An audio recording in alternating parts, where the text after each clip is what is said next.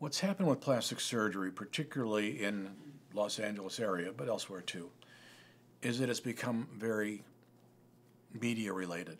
And what was once a real luxury is now becoming a commodity. And I don't want to play into that. I feel that the work I do is very intensive, it takes me a long time to do what I do, and I don't want to do a cookie cutter procedure where everybody comes in and gets in an hour and a half gets a complete makeover with shortcuts. I don't do that. I actually have a mantra about this that I believe in firmly, and that is that good plastic surgery is invisible. I get very excited when I walk to the operating room, the patient is waiting for me there, and the nurses there prepping the patient, and I realize this is what I was born to do. I'm very excited about it. It sounds corny, but I really feel that way.